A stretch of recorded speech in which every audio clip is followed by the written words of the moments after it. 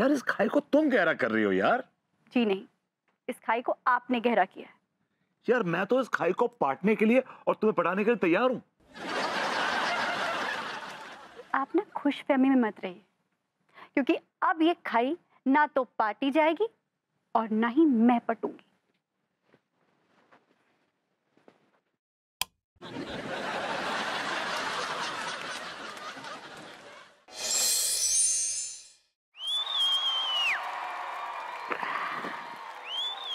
The दर the the the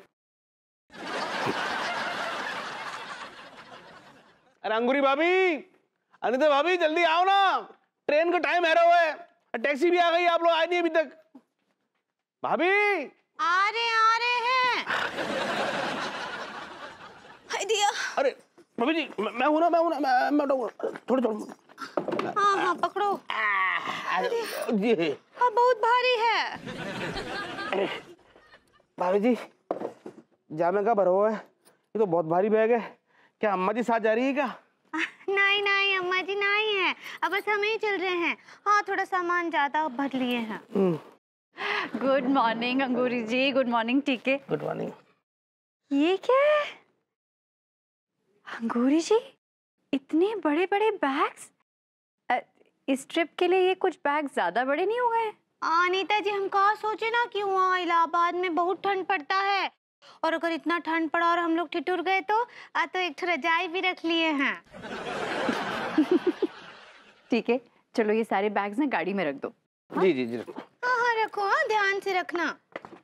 यार बहुत हल्को सा बैग है भाभी जी। हाँ अनीता जी हम कहा पूछ रहे हैं? आका भरभूति जी आपसे आने का जितना है? किए अरे जिद नहीं की बहुत ड्रामा किया उसने। लेकिन मैंने उसको कह दिया कि हम कोई घूमने या छुट्टी मनाने नहीं जा रहे शुभ काम के लिए जा रहे हैं इसलिए तुम घर में बैठो।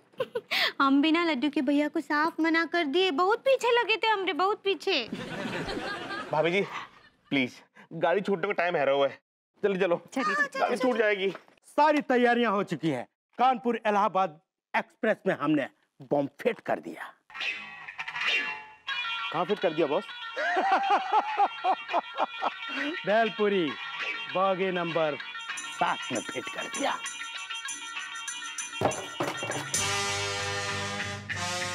हे, हे, कौन है? कौन है वहाँ? कौन है? लगता है उस्ताद भी ने हमारा पूरा राज सुन लिया है। अरे तो मारो उसको ज़िंदा नहीं बचना चाहिए। नहीं तो हमारा मिशन फेल हो जाएगा। पकड़ो।